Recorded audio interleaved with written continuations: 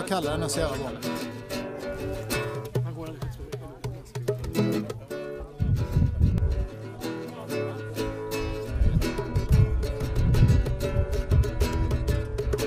Mitt i stan bor en kille som heter Kalle och Kalle har ett träd som han kallar sitt eget. Han sitter där uppe och drömmer och fantiserar om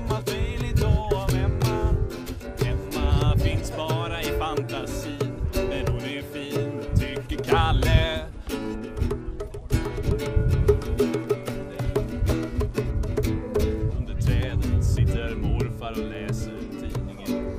Morfar tycker om att läsa om allting som har hänt.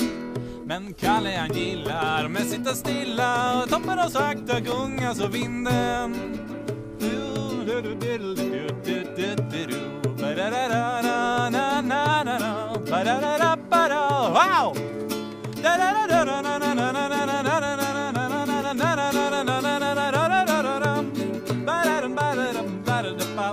Wow! Woo!